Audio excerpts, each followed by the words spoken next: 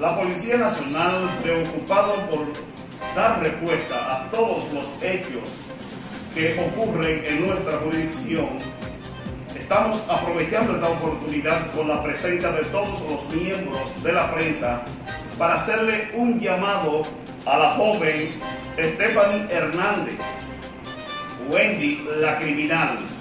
Esta joven, ya la información que manejamos es que anda armada y que dice que no se va a entregar a los miembros de la policía ni la justicia hasta que no concluya el trabajo que inició cuando el 31 de mayo del 2020 hirió gravemente a la joven Marian de León Olivares.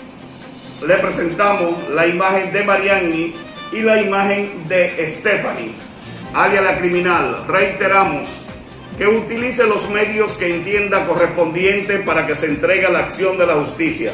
Sabemos que anda armada y no queremos derramamiento de sangre. Vamos a presentarle al padre de la herida, el señor de León. Eso es un caso que yo no quiero que quede impune. Ese caso tiene que llevarse a la máxima expresión.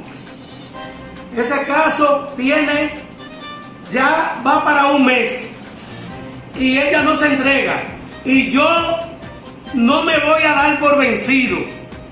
Yo quiero que donde quiera que ella se encuentre es mejor que se entregue a la justicia para que todo salga bien. Solo quiero justicia y por favor, donde quiera, si los familiares la tienen eh, guardada o donde quiera que ella se encuentre, que haga, que haga el favor de presentarse a la justicia para que todo salga normal.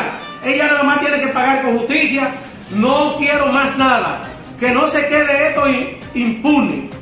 Eso es muchas gracias. Francisco de León Almonte.